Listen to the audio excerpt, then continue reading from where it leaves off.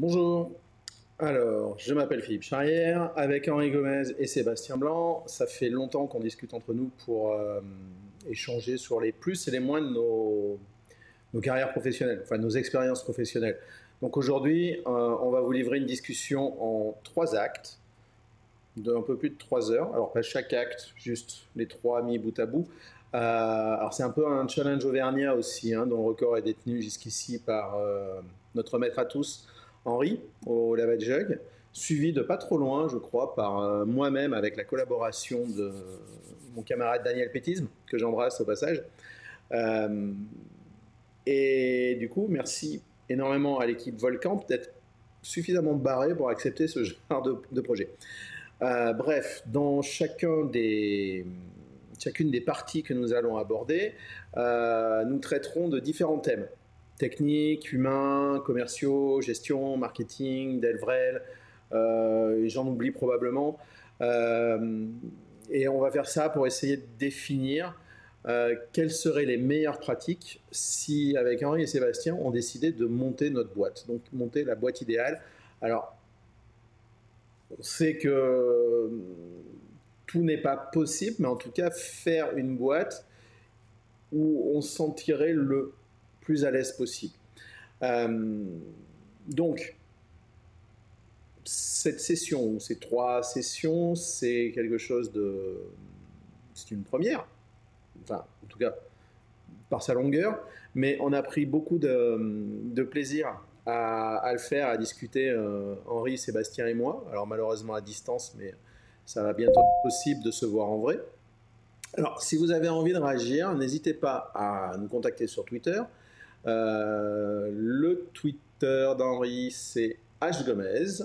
Le Twitter de Sébastien, c'est Sebi2706. Et mon Twitter, tout à fait prononçable, Kigorg, euh, donc 33G underscore org. Euh, et réagissez, toujours de manière bienveillante, même si vous n'êtes pas d'accord, mais n'hésitez pas à nous envoyer des messages, des réactions ou nous donner d'autres idées. Euh, pareil, que vous soyez d'accord, pas d'accord, si vous avez aimé, pas aimé, les retours nous intéressent. Et euh, en tout cas, on espère que ça vous donnera matière à réflexion et on vous souhaite une très bonne séance. Bye bye.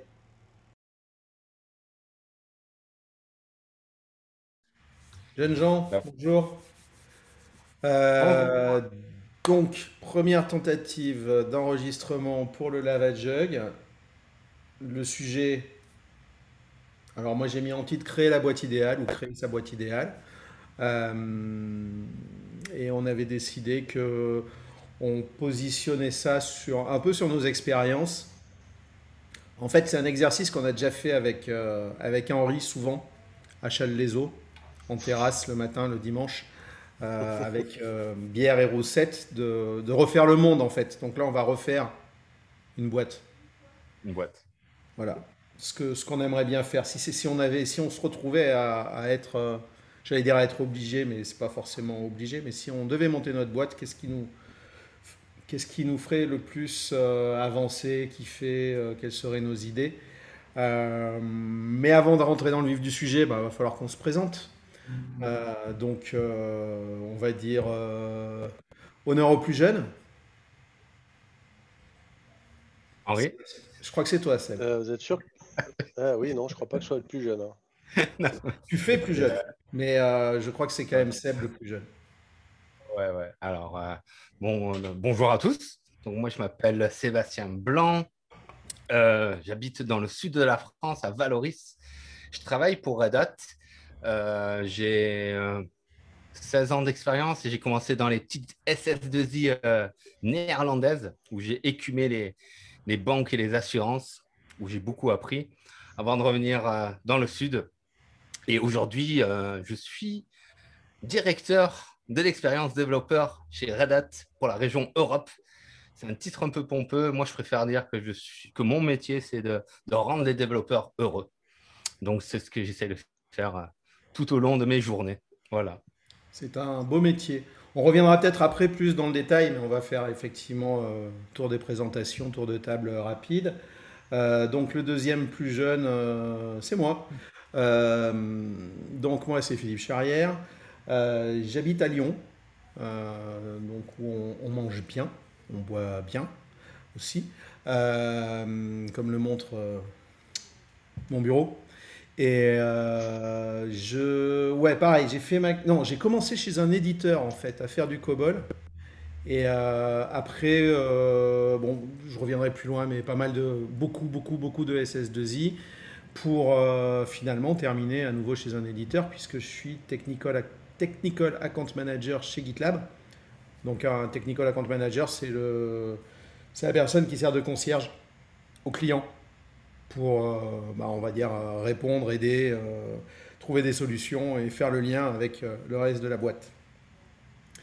Euh, donc pour l'instant, voilà, on reviendra après un peu dans le détail, les fun facts et tout ça. Et je laisse la main à mon ami Henri. Eh bien, merci Philippe, je la prends euh, bien volontiers. Euh, bah, écoutez, moi c'est Henri Gomez, je fais 30 ans dans, dans l'IT, je suis électronicien de formation. J'ai glissé du côté obscur du logiciel il y a très longtemps. dès le début j'étais prédisposé à entrer chez Texas Instruments ou IBM, euh, dans des endroits que peut connaître Sébastien d'ailleurs, notamment IBM Lagode où euh, euh, il n'y avait pas très loin de chez lui, il y avait aussi un centre Texas Instruments. J'ai plutôt ripé côté logiciel, tout à fait par hasard. je pense être et, cette connaissance, enfin cette, euh, cette formation d'électronicien, ça a quand même énormément marqué. Plus je vieillis, plus je rends compte que ça a énormément marqué ma, ma carrière. 20 euh, ans dans le dev, et j'ai tendance à dire sur 20 ans dans le dev et 10 ans dans les opérations. Euh, le dev, ça a commencé, et, et c'est là qu'on voit qu'on est très proche de l'électronique, avec des device drivers en assembleur 68000. Après, passer à du C, parce que c'était un langage quand même de vachement plus haut niveau. Et après, faire du Java, parce que c'était relaxant. Et puis, euh, majoritairement dans la finance, donc toujours avec des contextes euh, où c'était assez critique, comme on dit, business critical. Euh, après, je suis passé un peu plus, j'ai quand même eu beaucoup moins de goût à écrire du code qu'à fournir les outils aux, gens qui bossaient avec moi pour faire le meilleur code. Donc j'ai un peu glissé dans la CI pendant quelques années. Et depuis dix ans, je suis plutôt dans le côté plutôt run, donc plutôt opération. Donc après, écrire du code, euh, donner les moyens à, d'autres de bien l'écrire, c'est plutôt l'opérer. Euh, et, avec donc la capacité notamment d'aller, euh, dans certains cas, aller jusqu'à aller pouvoir dans le code ce qui dysfonctionne pour donner des, informations utiles, des informations utiles aux développeurs. et du coup, et actuellement, donc, je suis head of SRE chez SAG, qui est une, startup française qui, travaille dans le domaine de la big data. Je ne suis pas lyonnais, j'y ai passé que 12 ans de ma vie professionnellement, j'en garde de très bons souvenirs, notamment de la cave derrière Philippe euh, et de, certains petits bouchons. Je suis en Savoie, j'y suis en, depuis quelques années, et en tout cas en télétravail, et, et je ne fais pas de ski. C'est une information importante. Voilà, je vous repasse la main à Monsieur Charrière. Ok. Euh, tiens, alors, avant de, de, rentrer dans le, dans le vif du sujet, euh, est-ce que, je reste sur toi Henri pour l'instant, est-ce que tu as un fun fact, alors c'est très américain, mais euh, j'ai appris ça il y a quelques années, qui, que tu as à me présenter par rapport à, je sais pas, toi, ta carrière, autre chose euh? des fun facts, j'en aurais plein, des tristes facts aussi, mais c'est pas. Ouais, mais les tristes facts, ça va nous servir peut-être pour la suite, justement. Non, les, les, fun facts, quel fun fact je pourrais dire?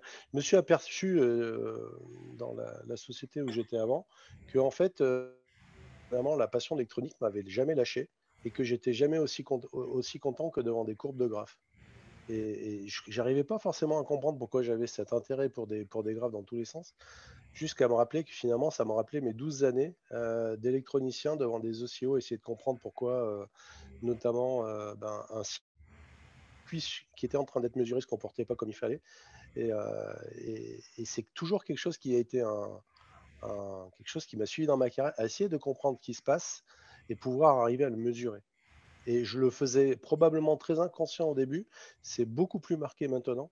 Et comme quoi, messieurs, quelle que soit votre, votre formation d'origine, très souvent elle est très marquante et elle va, elle va influencer le, le professionnel que vous êtes dans le métier que vous êtes. Tu un, un spotter de, de graphes en fait. Un vrai spotter de graphes, essayer de comprendre comment ça marche.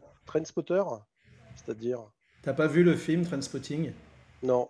en fait, c'est c'est un film euh, anglais, je crois, hein, mais bon, qui est euh, sur le, en fait, sur le domaine de la drogue, mais parce que en fait, trans, Transpoter, c'est un, dérivé de ce que faisaient des gars à regarder les trains partir dans les gares et à connaître par cœur les horaires des trains et tout ça. en fait, maintenant, ça a dérivé, Transpoter, c'est euh, je bloque sur quelque chose. D'accord. Je, ne pense pas que je transpot, par contre, je suis très j'ai pas de graphe et que je peux pas connaître globalement le battement de cœur de mon malade, enfin de mon malade, enfin de mon patient. Le patient étant, ça peut être une infrastructure complète et euh, notamment il y a quelque chose qui est assez fort, c'est qu'on s'aperçoit que quand on connaît bien un système, il, a, il, a, il a une pulsation propre, il a un battement de cœur propre. Et, globalement, quand vous avez l'habitude d'un système et de regarder un peu les graphes, très rapidement, quand quelque chose dysfonctionne, vous allez voir un changement dans ces graphes-là qui va vous mettre la puce à l'oreille de manière beaucoup plus sûre que n'importe quelle sonde. Parce que globalement, le battement de cœur, le, le, enfin le battement de cœur, euh, change. Et, et, votre empreinte rétinienne, et il y a des mécaniques profondes dans le cerveau qui vous font dire Là, il y a quelque chose qui ne correspond pas au, modèle standard. Et c'est assez impressionnant. Moi, je passais énormément de temps, notamment quand je, faisais, je bossais à regarder le, comportement nominal du système. Et, très rapidement, je le voyais très souvent, même avant le monitoring, en disant là, il y a quelque chose qui se passe qui n'est pas normal. Le monitoring s'en apercevait beaucoup plus tard, mais euh, l'intuition, quelque part, ou l'empreinte euh, euh, que j'avais que j'avais dans, l'œil me, me, signalait ça là-dedans. ça, c'est un petit message pour mes amis Ops ayez des graphes de tout. Si vous ne savez pas pourquoi, à un moment donné, euh, le cerveau va faire son, va, faire son ouvrage. Ok. Et du coup, Génial. Bastien Ouais, ouais, ben, moi, j'en ai plein des fun facts, hein, mais c'est très intéressant ce qu'il a dit là, Henri, là, sur, qu'il a dit que lui, il s'en rendait compte avant l'outil de monitoring lui-même, et on en parlera, je pense, c'est à remettre un peu des émotions dans notre métier. C'est exactement ce qu'on voit là. Euh, en fun fact, qu'est-ce que je pourrais vous dire? Moi, je peux vous raconter ma, mon, premier, mon premier fixe en prod, euh, qui, est assez marrant à raconter parce que j'étais en stage de fin d'études, hein, mais c'était bossé déjà dans une toute petite boîte qui employait que des stagiaires. Peut-être qu'on pourrait en parler aussi. On était, il y avait un patron, trois stagiaires euh, et, et un CTO qui était freelance, très sympa. C'est grâce à lui que j'ai tout appris mais qui travaillait en remote. Et ça faisait une semaine que j'étais là. Et à un moment, problème en prod. Et la machine de prod, c'était une machine euh, qui tournait dans, dans, la même salle que nous. Hein. C'était un, PC sous Windows euh, qui tournait là. Et c'était la machine de. Voilà, sur euh, de la DSL2, sûrement à l'époque. Et elle tournait là. Et il m'appelle, il fait Seb, il y a un problème, il faut que tu fixes ça. Donc il m'a dit va sur la machine de prod. Et je vais sur la machine de prod où il y avait Eclipse aussi, avec le code source du, de, ce qui tournait. il m'a dit, tu ouvres cette, cette classe, euh, ce fichier Java-là. Moi, j'apprenais encore. Hein. C'était un truc de login, password, en plus, c'est de la sécu. Il me dit le fixe à faire. Je le fais, tac, tac. Il fait, OK, maintenant tu fais Java, Javac. Il me dit la commande. Je, donc, je, compile le fichier. Il fait, c'est bon, tu as le point classe. Tu le prends, tu le, tu le, tu le drag and drop. Dans, et c'était à l'époque, c'était un, un conteneur de servlets résine qui s'appelait. Oh, voilà, tu payais une blinde, tu payais 10 000, euh, euros, je crois, le, prof, un truc comme ça. Bon, ils avaient choisi Resin. Il m'a fait euh, drag dropper le, le, le, point classe. Je ne me rappelle plus trop où. Et, et ça, ça fonctionnait. C'était mon premier fixe en, prod. Euh, mais c'est qu'avec le recul. Parce que moi, moi, moi, moi ça ne m'a pas trop impressionné quand j'ai fait ça. Mais c'est après, par la suite, quand, quand, je raconte ces histoires, ça me fait beaucoup rire quand j'y repense maintenant. Quoi. Et, ouais, donc, ça me fait changer d'avis sur mon fun fact parce que pareil, j'en ai toute une liste. Euh, mais euh, du coup, ton, ton, histoire de fixe en prod euh, me fait penser aussi à mon premier fixe en prod. Alors moi, c'était pas un fixe en prod, c'était un fixe à livrer. j'étais dans une boîte d'édition au départ j'étais donc qui faisait des outils de gestion finance, enfin gestion compta paye en COBOL. Et au début j'étais au support. Puis je suis passé au bureau d'études parce que je voulais faire du dev. Donc mes premières lignes de code euh, pro étaient en, COBOL. Et à un moment donné, notre produit, c'était une sorte de SAP avant l'heure, hein, et on le déclinait des fois pour certains métiers, et notamment euh, les métiers de la construction, du bâtiment. Voilà. Et j'avais deux mentors. Un chef de projet qui, alors je sais pas quel âge il avait à l'époque, mais il devait avoir. Moi, j'avais. C'était en 95, je sais plus quel âge j'avais, entre 20 et 25 ans, on va dire. Il faudrait que je refasse les. J'aurais dû faire une échelle avec les âges et tout ça. donc mon chef de projet, alors qu'il avait une, de forte corpulence, enfin comme moi maintenant en fait, mais j'étais beaucoup plus mince à l'époque. Euh, toujours en, costume avec des gros nœuds papes, souvent des nœuds papes en bois, barbu, lunettes, euh, qui, quand le client euh, l'appelait, il engueulait le client au téléphone en lui disant Mais de toute façon, si vous n'avez pas à vous en servir de logiciel, vous êtes trop con, j'en ai rien à foutre, et il raccrochait. Tu vois, c'était. L'époque des, des Customer Success n'existait pas encore. et mon autre mentor était un gars qui avait plus mon âge, euh, qui, euh, alors assez, assez enrobé, les cheveux longs jusqu'en bas des, des, fesses, grosse boucle d'oreille, t-shirt Rila Croix, euh, Santiago et fan de hard rock. et c'est lui qui m'a amené de force quand j'étais dans cette boîte. Alors de force, maintenant avec le recul, je suis content, qui m'a amené à voir le concert d'ACDC à Lyon. Et donc un, moment mémorable. Et donc c'était mes deux mentors. Et ils me disent, on a un bug sur la paye bâtiment donc on va le corriger ce soir, parce qu'on corrigeait la nuit en fait. Hein. C'était l'époque où euh, de, pleine de bonnes habitudes. Et donc ils m'ont fait corriger la, paye bâtiment. Ils étaient derrière moi et moi je codais sur du c'était du un éditeur de, c'était l'éditeur de Cobol Microfocus. Et donc je n'ai rien compris à ce que je faisais. Et si tu veux, on a commencé à 19h. À 20h, quand tout le monde était parti, ces deux gars étaient des fans de whisky. Ils avaient des collections chez eux de whisky, mais de vrais bons whisky. Euh, je suis allé chez les deux. Euh, ils avaient des 30 ans d'âge, 35 ans d'âge.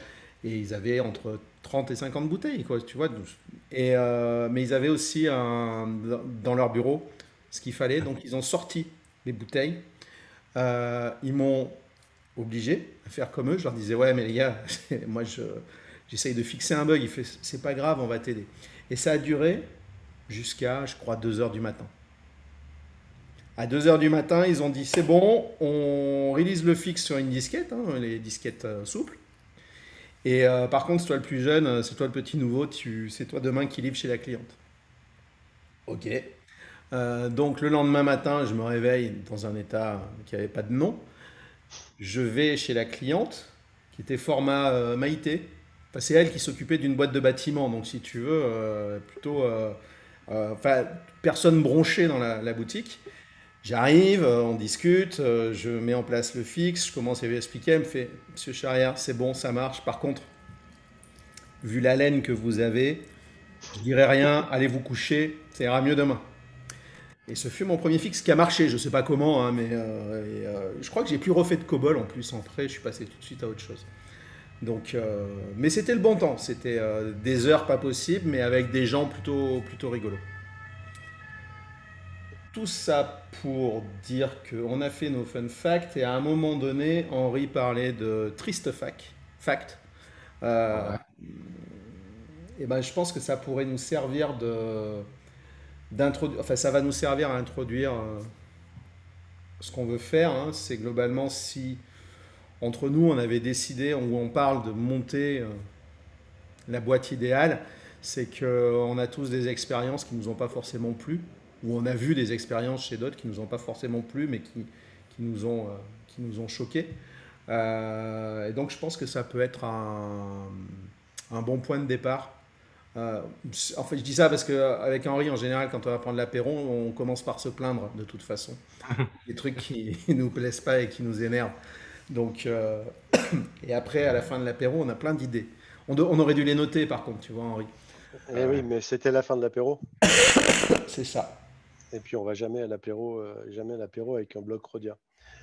Euh, ouais, effectivement, c'est après bon, on va pas nécessairement parler des, des, facts, mais en tout cas, on les a bien en tête, suffisamment en tête pour. Euh, il y a deux façons, enfin, il y, a deux façons d'apprendre. Quand ça se passe bien, on apprend un peu, et, quand ça se passe mal, on apprend énormément, énormément. Les choses à pas faire ou les choses qu'on aurait pu faire mieux. Et, ça, moi, c'est souvent des messages que je donne euh, aux gens, j'ai la chance d'encadrer des gens de plus en plus jeunes qui sont de plus en plus l'âge de mes enfants, J'encadre même des gens maintenant qui sont plus jeunes que mes enfants, c'est pour dire. Et je leur dis toujours, si on se trompe, c'est pas grave. Et de toute l'importance, c'est c'est pas la destination, c'est le voyage. Et ça peut s'appliquer dans plein de domaines, hein, dans du développement, dans une recherche d'incidents. L'ensemble d'informations, de liens, de, masse de connaissances qu'on va prendre à droite à gauche pour avoir une, intime euh, conviction sur une résolution ou sur la, bonne façon d'appréhender un sujet, c'est beaucoup plus important souvent que, la résolution du, sujet. Et, l'avantage d'avoir trois, comment dire, trois jeunes euh, enfants qui ont commencé avec du COBOL et du, avec du COBOL avec du whisky de 30, de 30 ans d'âge, qui ont, qui patché en production du code euh, depuis un Eclipse, parce c'est sûr que Maven, à l'époque, personne n'y pensait. Euh, ou d'autres comme moi, moi j'ai des souvenirs assez, assez croustillants de mon CTO d'époque qui disait j'ai un gros dev à faire, il, allait acheter une cartouche de, de, gitane, s'enfermer dans le bureau, euh, il avait fini globalement, les, il avait dû descendre 8 paquets de, de clopes dans la nuit, et le lendemain il disait c'est bon, tu peux maintenant, tu viens faire la sanitisation, donc il y avait une masse de code qui débarroulait, je parle d'une époque où il n'y avait pas de gestionnaire de version, hein. euh, les, les, codes étaient sur le, sur le serveur et pas ailleurs, et, ça, on a peut-être eu la chance de, rencontrer vraiment beaucoup de murs. je ne dis pas que les gens maintenant rencontrent moins, mais suffisamment, euh, différents. Et pour, euh, pour, peut-être dire aux gens, quand vous rencontrerez des murs comme ça, vous avez deux façons. C'est soit vous les prenez comme nous, donc auquel cas ben, on se reverra dans un an, deux ans, trois ans en disant alors donc tu as pris le même mur que nous, qu'est-ce que tu en as pensé? Ou peut-être éventuellement dire est-ce que vous avez vraiment envie de prendre des murs pour apprendre? En tout cas mais prendre les mêmes murs que nous? Ou est-ce que vous voulez essayer de passer à droite ou à gauche ou faire demi-tour et pour aller euh, prendre une autre chemin en disant au moins ce mur là, ces murs dont m'ont parlé Philippe, euh, Philippe, Sébastien, Henri, on les prendra pas. Vous en trouverez d'autres hein, que nous on n'a pas forcément vu, mais euh, essayez de, vous donner quelques clés des, des, patterns ou des, situations qui de tout poser des problèmes par la suite. C'est pas que c'est le cas dans notre métier comme dans plein de métiers. Il y, a des, phénomènes qui se reproduisent inlassablement. Euh, je pense que nous trois, on en a quelques-unes sous le coude euh, qui, sont, qui sont en tout cas d'attention. Et, le but, c'est vraiment là derrière que vous les gardiez en référence en vous disant Ok, il y en a trois qui m'ont raconté à peu près la même histoire sur les mêmes trucs, les mêmes raisons de l'échec évitons, évitons ces échecs-là, essayons de voir qu'est-ce qu'ils ont compris de ces échecs-là, et puis euh, on passe à la suite. Euh, on va gagner beaucoup de temps à pas faire ces échecs-là. Vous découvrirez les vôtres.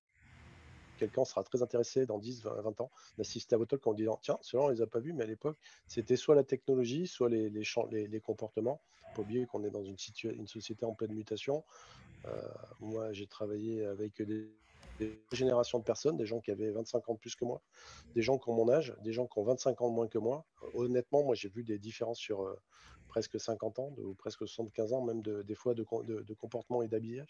Donc, de toute façon, ce que nous, on vous donnera, ce n'est pas une vérité, ça correspond à un parcours qui correspondait à un état de la société et un état des technologies, très souvent.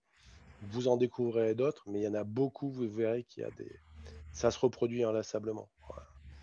Des erreurs de casting, se reproduire, des erreurs de comportement, de relations entre les gens. Les gens, ça reste des gens. Si vous les prenez de haut, ça ne passera pas.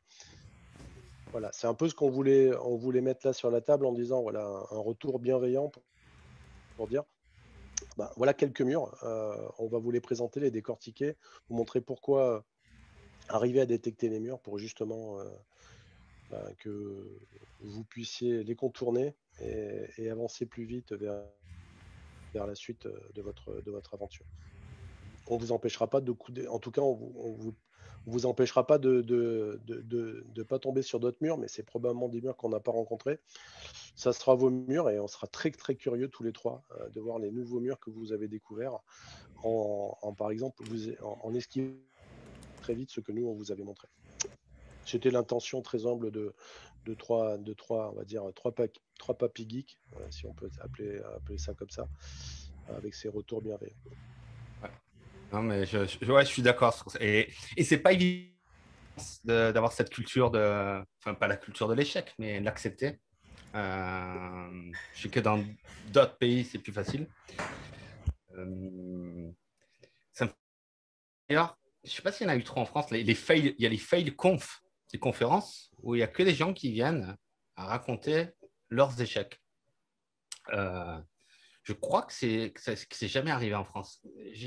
Peut-être à Toulouse une fois, et j'ai jamais mais je pense que c'est des conférences très intéressantes parce que c'est un peu. Eux, ils vont vous raconter les, murs qu'ils ont rencontrés. Ils vont vous expliquer comment les éviter.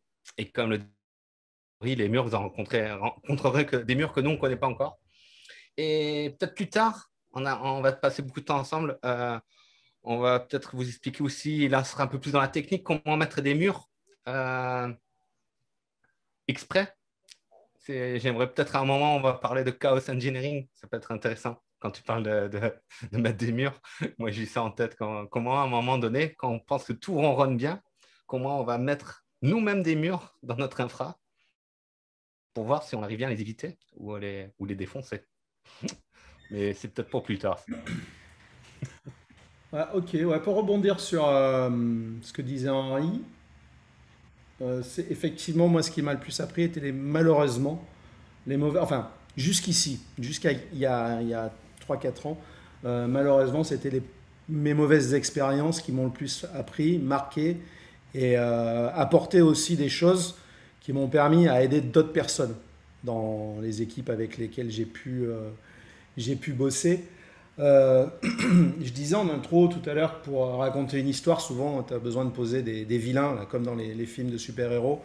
Euh, moi, les miens de vilains, il a, y en a plusieurs, je pense que ce sont les mêmes pour beaucoup de monde, mais il y a celui qui m'a le plus marqué et fait mal, en fait, de, de manière personnelle, enfin, qui a eu un impact à un moment donné, c'était la, cette super pratique que tu retrouves, alors pas que en société de service, puisque c'est essentiellement ma, carrière, mais j'ai fait d'autres boîtes, c'est la, la, recherche de coupables ou de, ou de boucs émissaires aussi. Euh, en SS2I, tu bosses, alors ça arrive dans des, des gros groupes aussi qui ne sont pas des SS2I, mais tu bosses pour une agence en général qui est l'agence de ta ville, et tu peux être en cas notamment d'intercontrat ou en fonction de ta spécialité, être dépêché dans une autre agence et on te colle sur un projet où en général tu arrives, le projet a déjà six mois de retard, euh, il n'y a toujours pas de chef de projet, euh, donc euh, tu es élu chef de projet volontaire, alors que tu n'es pas du tout chef de projet. et donc on te demande de récupérer la merde en fait. Et, forcément, c'est là que tu découvres ton équipe, que des gens sympas, mais qui ne sont pas du tout euh, avec les, skills appropriés. Euh, j'ai fait des projets euh, ASP.NET avec des gens qui faisaient du, COBOL et du Delphi, du Delphi 5, même pas, en, dessous, tu vois. et après, bien sûr, le projet plante. Forcément, il y a dérapage, machin. Et il faut un coupable et c'est jamais la faute du client ni des, des gens qui t'ont amené là-dedans. Donc c'est toi qui prends. Et c'est la première fois, c'est assez dur à digérer. Euh, les fois suivantes, tu as un peu plus l'habitude, donc déjà tu le sens venir, donc tu apprends à te protéger. Euh, et quand tu as de la chance, tu as ton équipe qui est avec toi. Moi j'ai eu des, des, des, projets, mais des trucs atroces, où tout le monde, alors le, le terme burn-out n'existait pas, je pense, à l'époque, mais euh, pourquoi mon Slack Je croyais, je suis désolé. vous entendez mes notifications Slack? Oui, oui, oui. Mais Bon, tant pis. Euh, non, si, je peux les enlever. Je peux les enlever. Excusez-moi. c'est du direct. Hein. Enfin, pour l'instant. où en fait, je pense que quasiment l'ensemble de l'équipe était en burn-out. Mais par contre, tout le monde soudé.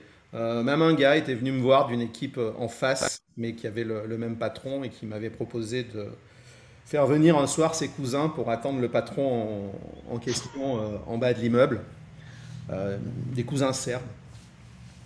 J'avais dit non, peut-être pas quand même, c'est pas, pas à ce point-là. Mais ça nous a appris, moi ça m'a appris beaucoup de choses et notamment à, détecter euh, certains signaux venant de moi sur ma capacité à supporter ou pas ça.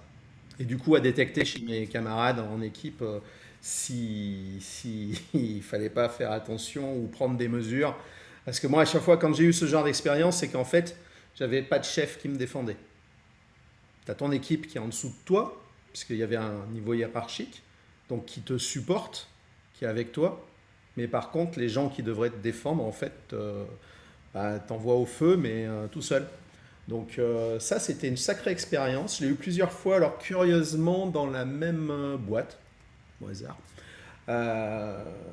L'autre truc qui J'en ai encore deux en fait. Je crois que c'est des trucs qui m'ont le plus marqué. Il y a le. Alors ce qui m'a fait penser, c'est je crois que c'est aujourd'hui en lisant un tweet de. Je crois qu'il s'appelle Mehdi, il bosse chez Ubisoft au Canada. Et il a sorti un article excellent sur euh, le développeur toxique. Ah oui, je voulais en parler aussi. Ouais, ouais. Je dis développeur, mais ça pourrait être un, un autre poste. Hein. La personne toxique dans une équipe. J'ai lu son texte je me suis énervé tout seul en le lisant, tellement ça m'a rappelé des, époques, euh, des, souvenirs là-dessus. Et, euh, et, notamment, ce qu'il expliquait, c'est que le pire des développeurs toxiques, c'est celui qui en plus est bon techniquement. Parce que tu as beaucoup moins de prise sur lui. Euh, et les mecs arrivent à plomber une équipe entière. et ça, j'ai eu aussi. avec un pote qui d'ailleurs a fait une très belle présentation de... Bah, vous le connaissez, Thomas Pierrin avait fait une présentation là-dessus. Euh, et, à un moment donné, il parle d'une personne et développeur toxique et tout ça. Et c'est relatif à une, à une mission qu'on a eue ensemble euh, dans une boîte. Euh, et, c'est marrant parce que l'autre mission où on cherchait des, des, des, coupables, Thomas était aussi avec moi. Je ne sais pas si on se porte la poisse ou pas, mais et le dernier truc, pour euh, te laisser un peu la main quand même, euh, Seb, euh, c'est le... Je ne comprends pas, enfin si, je sais, pour, je sais plus ou moins pourquoi, mais c'est la non-écoute des gens expérimentés. Tu sais, le truc où à la fin, tu leur dis, ouais, mais les gars, je vous l'avais dit. Quoi. Et en fait, il y a des gens qui ont des égaux tellement surdimensionnés qui refusent d'écouter, ils sont persuadés avoir raison, ils refusent d'écouter les sachants. Et ça, j'ai eu ça. Euh, c'est marrant, je crois que c'est encore dans la même boutique. Ça a duré 5 ans hein, dans cette boutique. Donc, euh, alors j'aurais pu partir avant, mais c'était pas si simple que ça. Euh, il y, a quelques années de changer de job en, claquant des doigts, surtout en province. le gars voulait à tout prix faire les démos de ce qu'on faisait, juste toujours en .NET, de ce qu'on faisait, il voulait les faire à distance chez le client. Donc il partait chez le client avec son chef de projet et je disais tu devrais plutôt installer ça sur ton, sur ton laptop. Et comme ça, tu es sûr que tu auras tout ce qu'il faut et ça marchera. Et à chaque fois qu'il y allait, ça marchait pas. Il n'arrivait pas à se connecter sur le serveur chez nous. Donc euh, il s'énervait. À chaque fois, je lui ai dit, mais tu pourrais l'installer sur ton laptop. Il me disait, on ne peut pas installer Oracle sur un laptop. Bah si, mec, euh, j'ai Oracle sur mon laptop. Et il a fait l'essai quatre fois. Les quatre fois, il est revenu chez nous avec le client pour faire la démo. La cinquième fois, il a dit maintenant ça va marcher. Et là, l'autocom est tombé en panne, donc il n'a pas pu se connecter. Et il est revenu avec le client. Et donc, euh, et le gars jamais voulu. Je lui, je lui avais même installé. Tu vois, je suis, suis pas méchant. Euh, et pourtant je l'aimais pas, mais euh, il a jamais voulu m'écouter. Et tu as plein de gens comme ça qui n'écoutent pas pour des notions, des, questions de d'ego. Et cet ego là. Alors moi, je suis un j'ai un caractère de cochon, donc euh, ça m'arrête pas, moi je continue, mais cet ego-là, souvent, il bloque les gens dans les équipes, et les gens n'osent pas demander euh, ou ont peur de faire quelque chose, et du coup, ça, ça, ça coupe les jambes à tout le monde en termes de proactivité, de, de, de, de, poser des questions, de transmettre un savoir, des choses comme ça. Donc voilà, là, moi, c'est les trois trucs qui me rendent hystérique. Alors, il y en a plus que ça, mais sinon, c'est moi qui vais faire les trois heures tout seul. Donc, euh, quels sont tes vilains? Alors, je vais, réagir sur, euh, sur tes deux premiers. Ouais. Euh, donc, sur le fait de prendre la responsabilité.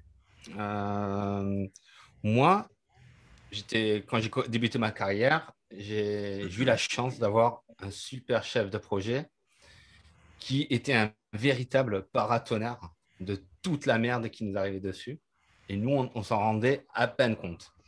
Et, euh, et, je, lui en suis toujours reconnaissant. On, s'est revu hein, l'année dernière aux Pays-Bas. Juste avant le lockdown, j'ai pu aller aux Pays-Bas. On a rediscuté et tout. Et lui, il était très, très fort pour ça. Euh, j'imagine que ça a dû être très dur pour lui. Euh, c'était des grosses pressions. Hein. C'était pour un gros, une grosse banque. C'était des, gros projets.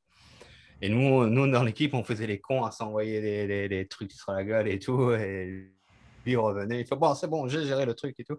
Donc, euh, avoir des mecs comme ça, ouais, c'est, ça n'a pas de prix. parce que on, t'en prendra toujours plein la gueule. Et, ça a un avantage hein, d'avoir d'être comme ça, c'est que normalement ton équipe te suit jusqu'en enfer. Ouais. Parce que moi, après avoir subi ce genre de choses, j'ai changé de boîte. J'ai finalement réussi à changer de boîte. Je suis arrivé sur un projet merdique parce que je pense que ma carrière, j'ai toujours été euh, abonné au projet euh, à faire le pompier en fait. Donc c'est un peu mon, critère. Je sais pas pourquoi. Et je leur ai expliqué, moi les gars, je suis là pour prendre les fessées à votre place. Donc vous taffez. Si ça marche pas et qu'on se fait engueuler, c'est moi qui me fais engueuler. Si vous merdez, c'est moi qui vous engueulerai, mais ça ne sera pas le client. Et, voilà. et de ce jour-là, alors le projet s'est mis à marcher.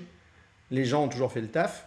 Et finalement, j'ai vécu un projet avec un client qui au départ était difficile, où on a terminé une seule fois à 20 heures parce qu'on avait fait une erreur de livraison. Mais tout le reste du temps, c'était cool.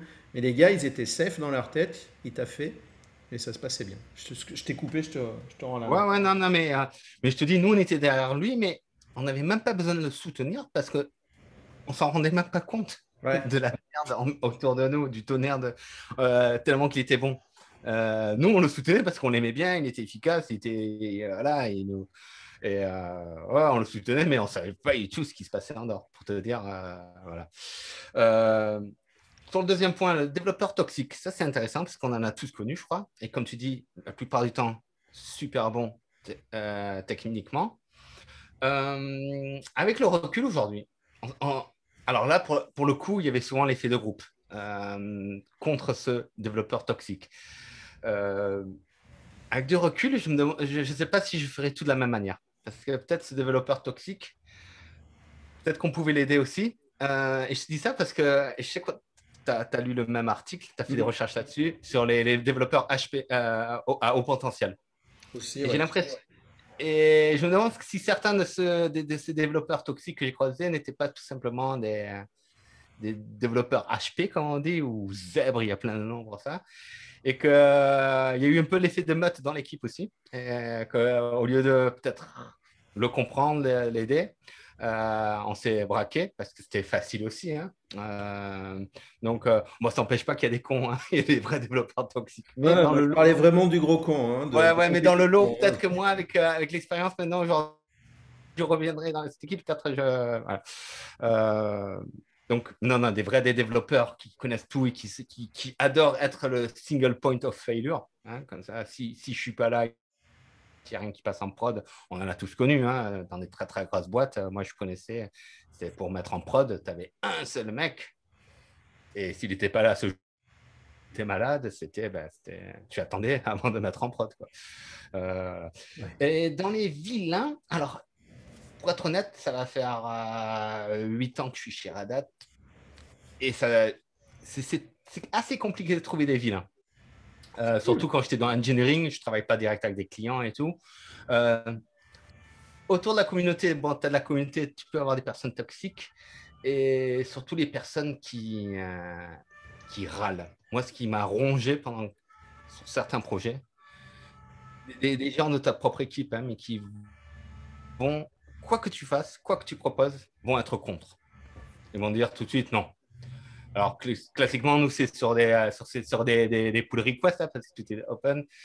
Tu sais que tu vois ta pull request, tu sais, si tu vois que le premier qui commence, c'est celui-là, il fait ah là là. Et euh, même si au fond, après, c'était pour lancer la discussion, mais euh, il y avait ce manque de, de tact, je pense, de rentrer de manière trop brutale. Je pense que c'est pas ce qu'il y a de mieux pour le travail d'équipe.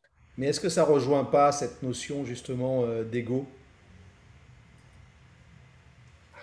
Ouais.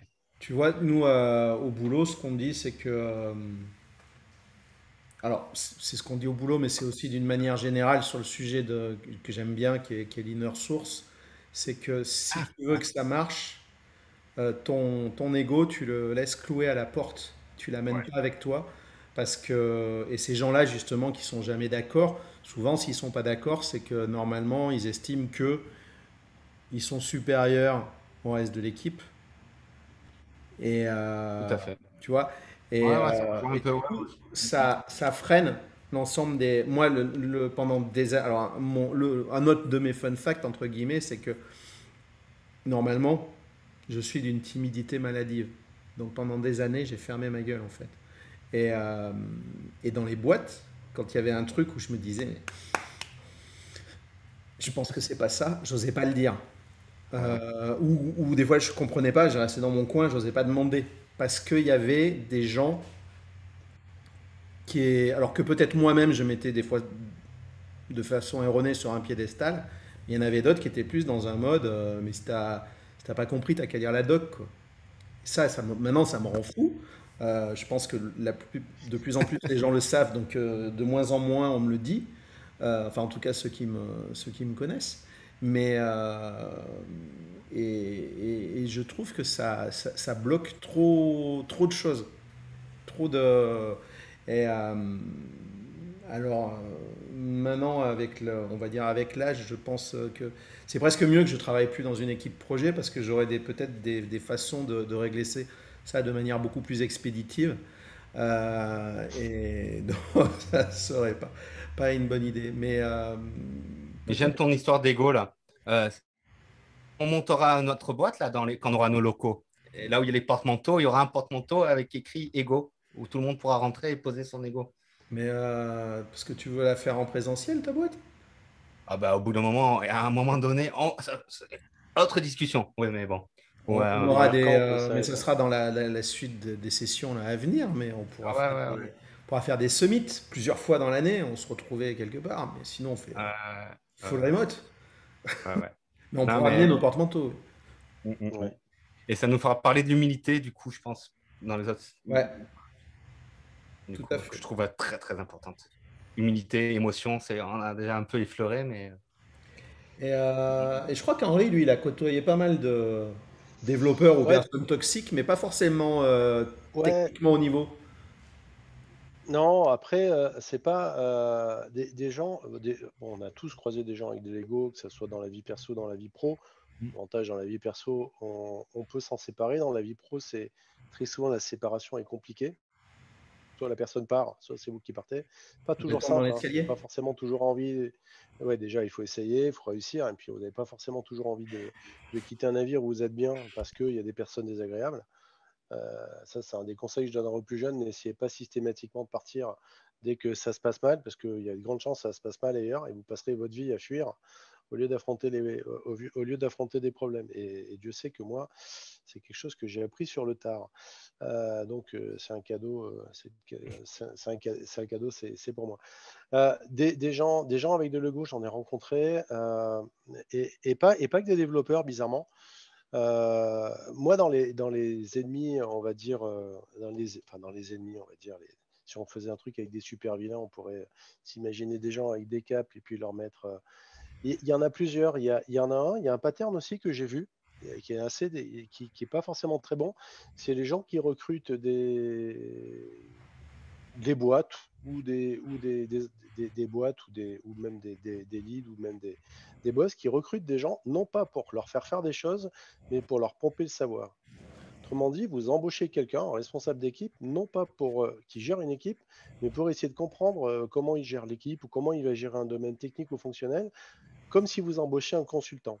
Donc ça, ça peut se comprendre. Et puis au bout d'un moment, vous voyez que la relation, elle passe d'un mode où vous, avez, vous venez avec des idées, avec peut-être quelqu'un en face de vous qui va vous challenger systématiquement. Tout ce que vous allez proposer, ça ira pas.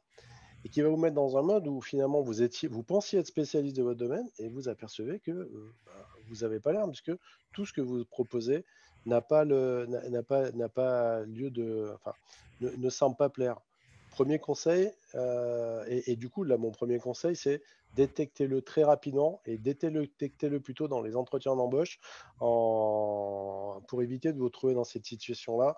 Euh, si on vous recrute, par exemple, pour gérer un domaine technique, fonctionnel ou une équipe, et que finalement, c'est pour faire un consultant, il y a une erreur de casting, vous serez malheureux comme les pierres dans, dans cette, dans cette situation-là. Donc ça, c'est super euh, mauvais recruteur.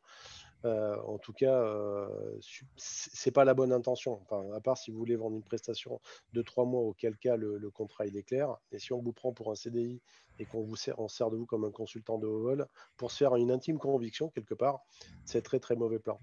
Toujours dans ce sujet recrutement, il y, a super mauvais recruteurs aussi, c'est faire des erreurs de casting. Il n'y a rien de pire, donc il y a les gens toxiques, mais il n'y a rien de pire que de prendre quelqu'un qui est bon dans un domaine et vous allez le mettre ailleurs et, où il sera. Euh, alors déjà, il risque d'être malheureux parce que si vous le prenez, vous prenez un op pour faire du dev, alors il va peut-être en faire un peu, mais il va pas forcément le faire bien. Ou si vous prenez un dev pour faire PM, il va peut-être bien le faire, ou peut-être pas. Il n'y a rien de pire que, que se gourer dans votre casting. Autrement dit, euh, prendre quelqu'un qui a l'air bien, et, vous n'allez pas le mettre au poste où il devrait être, mais au poste où vous vous, estimez. Et, si vous avez besoin d'un PM, allez chercher un PM. Allez pas prendre un très bon développeur qui vous allez dire écoute, tu vas faire moins de code, fais PM. Si vous prenez un bon dev ou un bon ops ou un, bon, un bon PM ou un bon chef de projet, prenez-le parce qu'il sait faire, pas parce que, sur ce que vous aimeriez faire. Il n'y a rien de pire que de prendre quelqu'un, le mettre à un autre poste. C'est la, meilleure façon. Ça, c'est par contre un vrai générateur de burn-out, c'est un vrai générateur de souffrance, parce que vous prenez quelqu'un qui est très skillé dans un domaine, vous allez le mettre dans un domaine où il n'est pas confortable, et forcément, euh, si on reprend l'image euh, l'image d'Einstein, euh, on n'a jamais démontré qu'un poisson est intelligent à monter aux arbres. Donc votre poisson, là, si vous prenez un poisson, vous le laissez dans la mer. Vous essayez surtout pas de voir sa vitesse à monter aux arbres. Ça peut être super formateur hein, aussi. Alors après, il faut être super résilient hein, aussi pour. Il faut être, il faut être super résilient. Mais après, en, début de carrière, c'est super bien, mais limite l'intention, il faut le dire directement. Et quelque part, la personne que l'on recrute, elle, accepte ou pas, c'est dire, tu es super bon dans tel domaine, mais moi, je pense que tu pourrais faire mieux. Par exemple, moi, je travaille, que, j'ai travaillé, je travaille ou j'ai travaillé avec des gens, qui sont très bons dans un, un domaine, par exemple, technique, ils sont encore meilleurs à gérer du monde. Mmh. il faut savoir, est-ce que tu as plutôt envie d'être en lead et d'aider ton équipe ou de participer quelque part à porter la charge et, il faut aider les gens, les accompagner des fois dans ce mmh. mouvement-là parce que pour eux, ils disent oh non, non, non, mais moi, je n'ai pas envie de gérer des gens parce que très souvent, ils s'imaginent qu'ils vont, ils vont gérer les congés ou les trucs comme ça. Mais enfin, gérer notamment des gens, c'est pas que gérer des congés, c'est aussi de mettre dans les, dans, dans les dans très bonnes conditions de travail.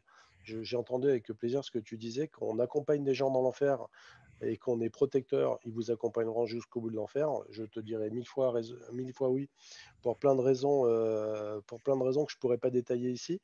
Et, euh, mais justement, être en bon lead, on peut prendre quelqu'un pour un, pour un poste qui n'est pas le sien, mais il faut qu'il le sache. Il ne faut pas qu'il le découvre après. Il faut être accompagné. Euh, il faut être accompagné et surtout qu'il faut qu'il l'accepte. Autrement dit, c'est se dire j'apprends le risque de faire ça. Parce que s'il le fait contre sa volonté, il y a des grandes chances que euh, ça passe de burn-out à très très très mauvaise expérience. Donc ça, c'était l'expérience du, mauvais recrutement. Et, en tout cas, du mauvais recrutement au sens on ne met pas les bonnes personnes au bons endroits, en tout cas là où elles seront efficientes. Il y en a une aussi, c'est la... Et c'est peut-être le pire, euh, c'est l'incapacité à trancher. Très souvent, on a dans, notre monde où on veut aller très très vite, on veut couvrir des, clients tout à fait différents. Et puis à un moment donné, il y a un client qui veut blanc, l'autre qui veut rouge, l'autre qui veut noir. Et à un moment donné, on a la capacité de faire une couleur. C'est pas la peine d'essayer de faire toute la palette de l'arc-en-ciel si vous avez finalement un pinceau avec une gouache. Ce ne sera pas possible. Et à un moment donné, il faut savoir remplacer le et, on va faire ça et ça, par le ou, en disant là-dessus, on n'est pas très bon, on n'aura pas le temps, on va faire celui-là, on va être bon dans ce domaine-là et puis après on ira là-dessus. Et là, c'est plutôt un conseil que je donnerais même très souvent aux décideurs, et pas forcément, enfin aux décideurs à tous les niveaux, hein, à tout niveau de la hiérarchie, n'hésitez pas à un moment donné à couper des branches. Le, fait de vouloir tout garder, c'est globalement la garantie d'avoir une dette qui, va, qui ne va pas aller en, réduisant. La dette, elle peut être dans le code, elle peut être dans le run, cesse. Euh, le fait de ne pas, par exemple, décider d'arrêter un, mode de fonctionnement dogmatique, de rester dans le on fait comme avant et tout en étant différent. Autrement dit, quand vous êtes dans une boîte de 5, vous avez des process. Quand vous serez dans une boîte de 100, il ne faut pas utiliser les mêmes parce que vous le faisiez à 5. À un moment donné, il faut, se dire, bah, on arrête, donc on est dans le non, ça on l'arrête, on passe à un nouveau truc. Et c'est hyper important euh, de, savoir décider, et, notamment une des décisions fortes, c'est de savoir euh, ne pas être dogmatique. Il faut savoir se dire, on s'est trompé, il faut savoir se dire, euh, euh, on, change. Aussi, un truc qui, qui m'est très et qui vient dans ce mode-là, c'est ce que j'appelle la co-construction. C'est on n'a jamais raison tout seul. On a très souvent tort tout seul, mais on n'a jamais. par contre, quand on a plusieurs, ne pas hésiter justement à, remettre ce truc, à remettre un truc sur l'ouvrage en disant, bah, je veux avoir beaucoup d'éclairage là-dessus en fait. Et c'est pour ça, et ça rejoint un peu le côté que tu disais, Philippe, euh, et même Seb, sur les gens qui ont de l'ego. Très compliqué de travailler avec des gens qui ont de l'ego parce qu'il n'y aura pas de remise en question, jamais. Jamais des décisions qu'ils ont pu prendre ou qu'ils ont pu faire. Et, du coup, ça va créer un, énorme sentiment de frustration qui va que d'une manière ou d'une autre, vous aurez dû comme ça se passe dans ces cas-là, généralement, c'est les meilleurs qui partent d'abord, euh, parce qu'eux, ils sont bankable, et, et, puis que eux, quelque part, ils ont envie de transformer, ils ont envie de produire, quel que soit le niveau de la production, mais ils ont envie de créer, ils ont envie de produire, ils n'ont pas juste envie d'être dans une position d'attente, d'attente stérile. Donc, euh, ne pas hésiter à, décider et, surtout de ne pas rester dans des postures dogmatiques. Le dogme, ça va tuer beaucoup plus vite que tous vos concurrents ou même tous vos mauvais clients. Le dogme, ça vous tue de l'intérieur, c'est une petite mort et ça, va vous laminer. C'est l'incapacité qu'a une boîte à se réformer, à se réinventer, parce que la voilure change, parce que les clients changent, parce que les technologies changent, le dogme, ça tue plus sûrement les entreprises que, que tous vos concurrents et, tous vos mauvais clients. Donc, euh, super dogme, c'est aussi un des, un, des, un des ennemis à détecter et raisonnablement à combattre, ou en tout cas à, pondérer et à calmer. Euh, les dogmes, ils sont faits pour aller, euh, comme on dit dans la Fondation Apache, dans les attiques. Ça, ils étaient là, ils ont disparu, paix à leur âme et c'est plutôt bien. Et il y a une bonne façon de faire du dog, notamment, on pourra en parler plus tard, c'est de prendre des décisions à plusieurs. Autrement dit, euh, on peut généralement dogmatique tout seul. À 2, 3, 10, c'est beaucoup plus compatible, beaucoup plus compliqué d'être dogmatique. Et avoir euh, arrivé à créer des trucs dogmatiques à plusieurs, c'est assez, euh, c'est assez, c'est beaucoup plus compliqué que tout ça. Voilà, ah. donc super, super recruteur, enfin super bad recruteur, super bad trancheur et super bad dogmatique. Voilà, on a déjà mes trois, mes, trois super vilains. Ouais, ouais, ouais, ouais. Euh, va falloir les. Euh, tu as, sorti quelques bonnes phrases depuis le début là qu'il faut. Euh, Moi, j'en avais une sur les ceux, qui refusent de trancher. J'avais un patron quand on lui disait oui, mais normalement c'est ça, ça ou ça. il disait je peux pas entendre ça, je veux que des solutions. Et ça. Ouais, le consensus mou. C'est ça, hein, ça, me rend ça, ça, me rend hystérique. Je ne peux pas entendre ça. Mais bon, euh, est-ce que tu as d'autres euh, méchants à rajouter, Seb? Non, non, Ah, ouais, si tu en as d'autres, Henri, moi je suis en train de réfléchir si, j'ai d'autres méchants. Non, non, non, non, j'ai cru que je cru, que tu parlais, tu, tu me parlais. Non, non, non, euh, parce que moi j'en ai, ai, un, mais qui laisse la voix à, Seb. On a, on a vachement discuté le côté humain finalement et euh, donc avec euh, le, finalement la capacité de travailler à plusieurs ou pas, l'effet starification de certains. Euh, mais oublions pas qu'on on veut monter une boîte. Ouais. Donc il y a d'autres. d'autres méchants. D'autres méchants, ouais. Alors, alors, moi j'en ai un, c'est pas un humain, c'est c'est le, méchant, la méthodologie, mais je sais pas si on en parle elle. Quand la méthodologie un peu trop le dessus. ceux qui me suivent sur Twitter doivent connaître mon amour pour, euh, pour l'agilité. Enfin, j'ai rien contre l'agilité, mais euh, la façon dont elle peut être mise en œuvre. Par des gens trop dogmatiques. Par des gens trop dogmatiques. Euh, j'ai une keynote là-dessus hein, où je fais le parallèle avec le Scrum et la séparation des tâches. je compare ça avec la révolution industrielle quand, quand Adam Smith il est où ils fabriquent les épingles. Ils ont fait attendez, là, on va, on, va, on va diviser ça en petites tâches. Vous allez voir, vous allez fabriquer les épingles beaucoup plus rapidement. C'est le début de la, division du travail. Euh, c'est la division du prolétariat. Le prolétariat, ce n'est pas vraiment le fait de, vivre dans la misère ou d'avoir un travail. Prolétariat, c'est quand euh, on t'enlève l'essence de ton travail, que tu fais les choses à la chaîne. Euh, certaines méthodologies avec les sprints courts et tout. Euh, j'ai peur qu'on enlève cette passion. On reparle là de passion et d'émotion. Euh, j'ai peur que ces méthodologies, à force, vont, aspirer. Tout à l'heure, Henri parlait de ces boîtes qui vampirisent la connaissance des gens. là, j'ai peur que, cette, que, ces, méthodologies, à terme, vont vampiriser la passion des développeurs. Mais euh, là encore, on pourra peut-être en parler plus longuement. Mais euh, Bah, ça peut être. de la méthodologie, mais, mais ouais. Ça peut être un sujet entier, ça. Bon, moi, je vendais, du, je vendais du forfait agile, donc je suis mal placé pour, pour en parler. Mais pour, para... mais pour paraphraser les inconnus, il y a le bon, le bon agile et le mauvais agile. Il reste agile, il y en a un qui est bon et qui est mauvais. Il y a, il y a là aussi, il y a l'agile dogmatique et, c'est un peu pareil. On peut prendre l'agile ou les patterns DevOps. Euh, là-dessus, il y a des idées, des, fondamentaux qui se posent. Je rappelle que l'agile, ça avait pour but de tuer quelque chose qu'on a tous, tous les trois très bien connu, c'est le cycle en V. Où on mmh. avait euh, deux mois de réunion avec des clients, euh, trois mois de, rédaction de doc, que, tel que je ne pas mon Pyrénées. On avait dix jours pour faire les devs et les tests, ben, les tests, il y en a, enfin les, les tests, c'était la portion congrue. Quant à la doc euh, liée au développement, il n'y en avait pas. Euh, la méthode agile, elle a aussi apporté le truc de dire on peut peut-être faire de la livraison itérative. Euh, elle a aussi apporté un truc qui est intéressant, c'est la notion de sprint, apprendre à découper une histoire très compliquée en petites histoires. Et là, c'est l'électronicien qui parle. Quand vous prenez une carte mère, ça a l'air vachement compliqué. Mais si vous commencez à regarder chaque composant ce qu'il fait, chaque composant, il a sa valeur. Et puis, il arrive petit à petit, vient apporter sa petite musique à l'orchestre. Et, l'agile, ça a aussi permis de faire ça, c'est dire, sachant découper sans prendre un problème complexe, c'est une des choses où normalement on dit que les ingénieurs français sont brillants, c'est pas moi qui le dis, c'est les Américains qui le disent très souvent, une capacité à prendre un problème compliqué et à le découper en petits problèmes beaucoup plus simples qu'on peut adresser par petits bouts. Euh, c'est pas, c'est pas, il faut pas jeter le bébé l'eau du bain. Hein. C'est une mmh. expression lyonnaise. Euh, mon ancien boss, mon ancien chef euh, de, Lyon disait ça régulièrement, il faut pas jeter le bébé et l'eau du bain. Et, par contre, c'est dans une posture, euh, enfin l'agile dogmatique, comme le DevOps dogmatique, comme plein de, en mode dogmatique, ça devient euh, limite hyper, hyper, hyper son message et, il vous détruit. Euh, typiquement, un, pattern que j'ai en tête, c'est sur l'agile, c'est dire nous on fait de l'agile, donc on fait du no estimate.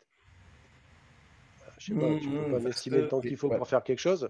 Euh, j'ai un problème parce que du, on est obligé à un moment de mettre des chiffres sur des actions, ne serait-ce que pour prendre des décisions. Est-ce que je fais A et B et C ou est-ce que je fais C, B et A? Je suis obligé d'avoir des chiffres. Et le no estimate, c'était aussi un, truc qui, avait bien cours à un moment donné. Bah, ça a fait des ravages. ça a toujours cours, hein, mais euh, on pourrait presque hacker notre propre conf là, pour euh, parler juste de ça. Ouais, donc on n'en parlera pas. Mais en tout cas, c'est pour ça il faut faire attention. Il y a des, méthodos euh, qui, sont, qui, sont, euh, qui ont été reprises par des gens. Il y a beaucoup de gens d'ailleurs euh, qui parlent de développement agile, qui ne sont pas des développeurs. Ce que je trouve assez croustillant, c'est que tu parles de quelque chose que tu n'as pas pratiqué intimement. C'est assez compliqué de faire ça. Moi, j'ai toujours une image qu'on m'a racontée. dans, les, dans les temps anciens de la SNCF, les gens qui étaient tout à fait en haut dans les bureaux pendant un an, ils étaient, euh, pendant un an, ils étaient roulants, chauffeurs. Donc chauffeurs, ils étaient avec le bleu de chauffe. Ils enquillaient euh, des tonnes et des tonnes de charbon dans, les machines pour bien faire comprendre plus tard, quand ils seraient au poste de direction, ce qu'ils allaient potentiellement demander comme travail à leurs équipes tout simplement dire non, je ne vais pas pouvoir mettre un mec 10 jours d'affilée sur ce truc-là, il va falloir qu'il se repose et tout. Ils faisaient un an, c'était éclairant après pour le reste de leur carrière en disant non, je l'ai fait, je ne peux pas. Bah, c'est comme tout, c'est euh, moi je me méfie toujours des gourous d'un domaine euh, qui ne pratiquent pas. Euh, est-ce que tu l'as fait? Est-ce que tu l'as vécu? Est-ce que tu en as souffert? Oui. Est-ce que tu as, une, des, souffrances à nous raconter Est-ce que tu as des, expériences plutôt mauvaises hein? Moi, par exemple, quand je fais des recrutements, j'aime bien avoir des gens qui vont me raconter surtout ce qu'il ne faut pas faire. Des gens qui vont me dire quoi faire, il y en a plein. Par contre, des gens qui vont me dire quoi pas faire parce qu'ils l'ont essayé et qu'ils l'ont expérimenté et ils ont, ils, ont, du sang sur les mains, généralement le leur, plutôt le leur d'ailleurs. Euh, c'est, ça a énormément de valeur. Bah, tous ces, Mmh. tous ces grands gourous de, de, méthodo, quelles qu'elles soient, enfin, méthodo, techno et compagnie, si c'est pas des gens qui, qui frottaient à la techno, sérieusement, je m'en méfie toujours. Et, ça, c'est euh, parce que ben, c'est dogmatique ou commercial, quel que soit le terme, mais euh, c'est pas vrai quelque part. Ça pas, ça, pas de, c'est pas tangible. Et très souvent, c'est les mêmes qu'on va retrouver avant tout, tout, tout, tout son contraire euh, dix ans ailleurs chez un autre éditeur ou, ou une autre, un autre grand groupe de conseils. ils ont vendu tout et leur contraire en 20 ans et on se dit, bravo, à ce niveau-là, c'est plutôt de l'équilibrisme de plus que de l'IT. Plus, que de l'agilité, plus de l'équilibrisme que de l'agilisme. Ça me fait penser à mon dernier méchant en fait, euh, le fait de dire qu'il faudrait que bah, les gars de la SNCF, ils faisaient le métier de, de, de, pousser du charbon avant d'aller plus haut. Euh, je suis intimement persuadé qu'il faudrait que un développeur, par exemple, il fasse pas que ce métier-là euh, et qu'il fasse d'autres trucs avant ou pendant comme faire du support ou comme faire euh, testeur. Ou parce que mon, mon, dernier méchant, en fait, je n'ai pas un nom exact, j'ai une phrase dessus, c'est ce, truc quand tu es dans une boîte ou un projet pour lequel tu t'investis et qu'au bout d'un moment, tu regardes ton boss et tu lui dis, mais en fait, on vend de la merde. Parce que on finit pas les trucs, on n'écoute pas ce que veut le client. Euh, quand, une fois qu'on est arrivé à vendre, on n'a rien à faire de, des problèmes que peut avoir le client, des retours qui ne sont pas pris en compte. Et globalement, on fait du, ouais, on fait du pas fini. Et on n'est pas organisé. Et, euh, les gens oublient qu'en fait, le projet, une fois qu'il est terminé, il continue à vivre. Dans une ESS2I, ça peut être, il continue à vivre avec une TMA. Si la TMA est mal prise en compte, euh, bah, ça se passe mal. Alors c'est souvent mal pris en compte parce que c'est rarement la même boîte qui a fait le projet qui fait la TMA. Ce que je trouve totalement débile parce que tu perds des... Même s'il y a un transfert de compétences, tu perds de la compétence. Euh, mais quand tu fais du produit ou du service, euh, alors quand tu fais du produit, une fois que tu as vendu ton produit, quoi, il faut, faut le maintenir, mais il faut écouter aussi les, les, les, gens qui sont dehors et, et qui l'utilisent pour bah déjà leur répondre s'ils ont des problèmes, mais aussi faire évoluer ton, faire, enfin bonifier ton produit. Et je trouve qu'il y a trop de, il y a trop, on a trop cette culture. Alors je sais pas si c'est spécifique à la France ou c'est pareil dans d'autres compagnies, mais on a trop cette espèce de culture du, pas fignolé en fait. Alors c'est peut-être lié aux méthodologies aussi, hein, où euh, effectivement quand euh, j'étais sur des projets en cycle en V, euh, bah, les tests on les faisait pas parce que sinon on avait cramé tous les jours, donc, et, donc on livrait de la merde. Après, le, nombre de fois où... Alors j'ai souvent été dans des situations où malheureusement, j'avais à la fois la casquette de la personne qui était en vente ou avant-vente, mais après aussi en pilotage du projet. Et donc tu as envie que tout soit bien sur toutes les étapes. Donc après, au bout d'un moment, quand c'est plus toi qui fais le pilotage et que tu vois qu'en fait ce que tu as vendu a mal été développé, que le client fait des demandes, mais que personne lui répond, et que toi tu commences à te mettre à répondre à la place des autres euh, ou à te battre avec euh, les, gens dans ta boîte parce que tu leur dis mais attendez euh, le gars ça fait trois jours qu'il vous envoie des, mails parce qu'il a un problème et personne lui répond. On dirait que les gens ne prennent pas conscience de qu'en fait ils ont un métier, ils sont payés pour faire quelque chose. alors après il y en a qui vont me dire oui mais je suis pas assez payé mais dans ce cas-là plus ton produit va se bonifier et s'améliorer, peut-être que plus ta boîte va gagner de l'argent et plus elle va te payer. Enfin, il faut trouver un espèce de cercle, euh, cycle, cercle vertueux ou cycle vertueux? Je sais jamais. Bon, je confonds avec le cycle de vie, produit, machin et tout ça, mais euh, vous voyez à peu près ce que je veux dire.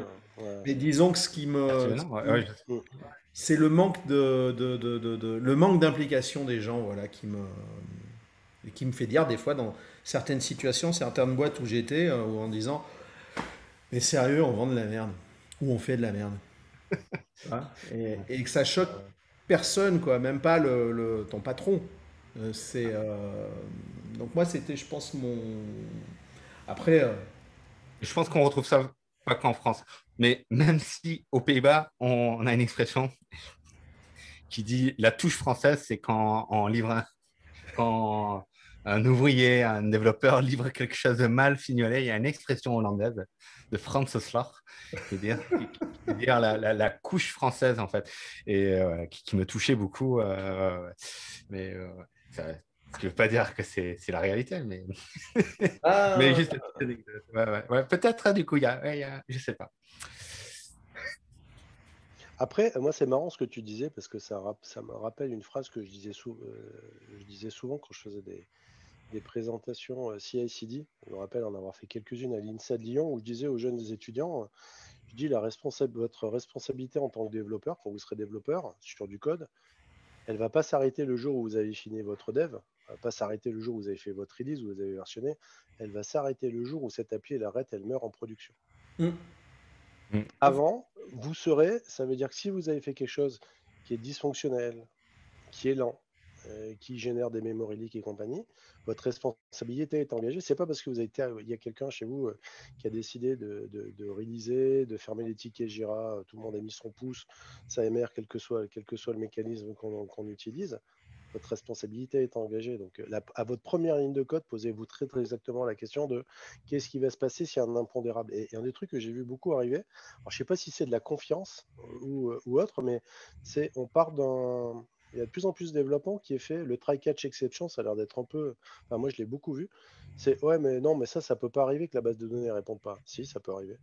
Ça peut pas arriver que le site à l'autre bout ne réponde pas. Et, c'est euh, tenir compte des impondérables. Parce que si, quelque chose peut dysfonctionner, la question, c'est pas s'il va dysfonctionner, c'est quand. Et, à ton école de la vie, euh, j'aimais bien aimer. Moi, j'ai la première boîte où j'ai bossé, je faisais le développement. Euh, alors, je faisais la prod la nuit, le développement l'après-midi et je faisais le support le matin faisait du traitement d'OPCVM.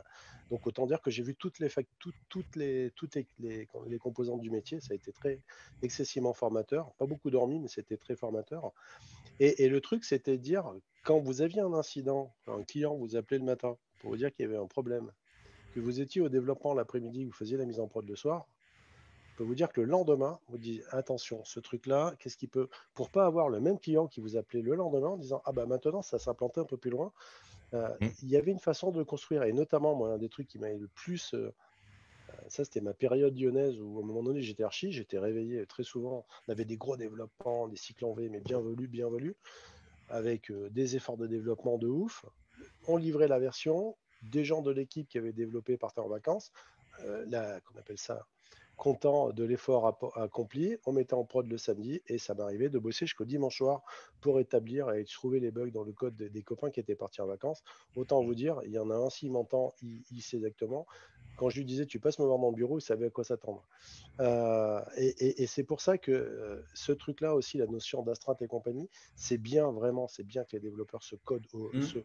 se, se, frottent au run, se codent ou, ou, au support, se dire voilà, là ça dysfonctionne, là il y a de la souffrance, tu en es un peu responsable, tu pas tout seul. Effectivement, toi tu as écrit ton code, les outils d'analyse n'ont pas vu, euh, les, copains qui ont fait la review, ils l'ont pas vu non plus. Shit happen et, c'est faire.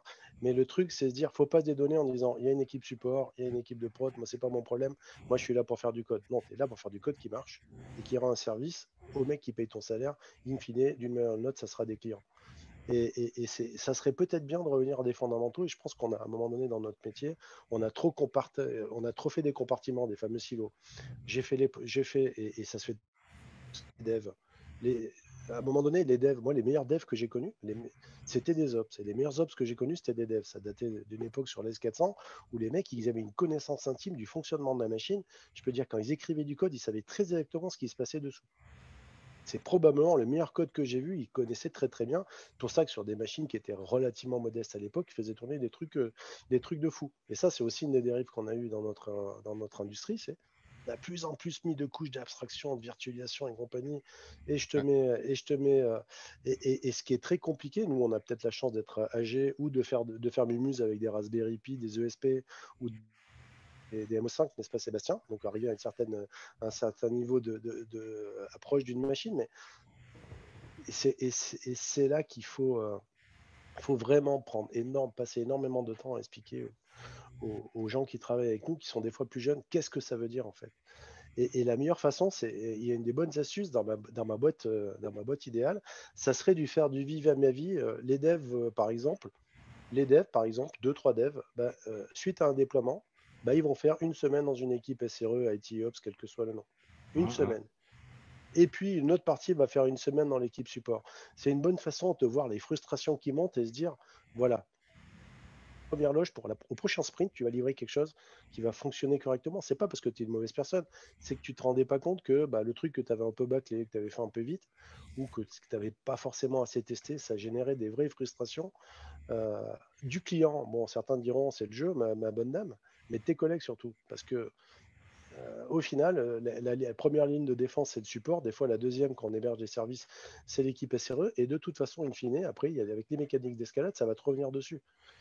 Euh, et tu n'auras pas forcément envie, tu auras contexte switché, c'est une vieille histoire, c'est une vieille release, ça fait 15 jours que j'ai développé ça, je ne m'en rappelle pas. De toute façon, quelque part, Philippe parlait de merde, mais la merde qu'on a posée à un moment donné, il y a un effet mécanique qui fait qu'elle vous revient dessus. Donc, éviter qu'il y en ait trop.